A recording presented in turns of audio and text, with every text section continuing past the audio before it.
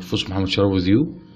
Um, let's talk today about uh, uh, steam uh, mechanical compressor. Uh, steam mechanical compressor. First of all, you have to uh, specify your folder from here. Go to your, don't open your model from uh, your desktop.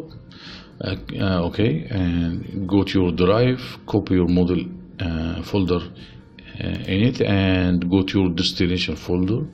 This is my working folder, so I put my folders here, and click here and sort. Uh, you have to sort by name and group by type, so you will find your model, uh, Simulink model uh, uh, contained here. Okay, double click on your model and you'll find your model should be appear like this. Uh, this is our mechanical um, centrifugal steam compressor. Uh, it's for mechanical vapor compression. Um, uh, such type uh, um, always been used for many years in vapor compression cycles, such such as steam compression for desalination purposes uh, and other um, types of uh, steam uh, auxiliaries. Um, this is our main model, so you have to check all of this. Go to model browser and uh, be sure that all of these uh, arrows are checked and set your simulation time into infinity. And go here in uh, inside. Okay. Uh, our model um, should calculate uh, the following uh, working what is your working because this is a design model what is your working um, uh, power. What is your outlet uh, temperature? What is your what is your output pressure um, uh, volume RPM and specific bulk consumption? Sure you can uh, go inside double clicking on your model and you will find your code here.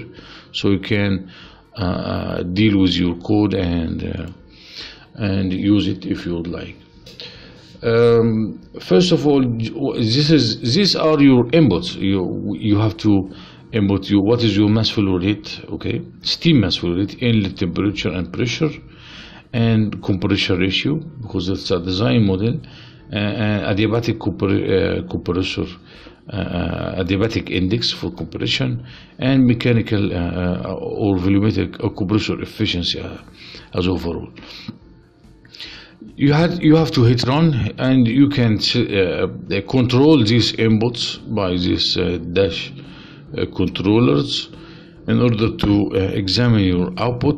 Don't forget to check your output stream uh, uh, in order to send your output data to a data inspector because you are going to make we have to make at least two runs in order to compare our runs um, let's hit run and see if we change our steam flow rate or inlet temperature or, okay. Let's click here and uh, let's try to uh, make our changes. I am increasing uh, steam mass flow rate. As you can see here compressor power is increasing. Let's uh, increase uh, inlet temperature I'm increasing inlet temperature. As you can see realize effect realize effect here and compression ratio value. Let's decrease the compression ratio value as you can see here. Um, adiabatic index 1.4 normally be, being used. Let's go for 1.3 uh, efficiency I, I will drop it down to uh, 0.6 for example and uh, I will stop my uh, simulation time okay let's go here for data inspector in order to discover uh, our results. Okay these are our results. You can uh, add more results. Okay let's go for uh, for example um, uh, what is your uh, this is your input temperature and okay we need output temperature. Okay variation output temperature variation uh, in pressure output pressure variation in uh, specific volume. Uh, and we have variation in RPM um, okay. I'm sorry. Uh, specific bulk consumption. Okay. And this is you, your mass fluid but, but this is this is your input mass fluid because we change it mass flow rate okay. Okay. Let's uh, close this one and we I'm going to make another run in order to and make some changes. Let's let's decrease okay? This is your simulation time. I, I will decrease my mass flow rate okay? Decreasing mass flow rate and uh, decreasing uh, temperature down to 50 degrees Celsius for example.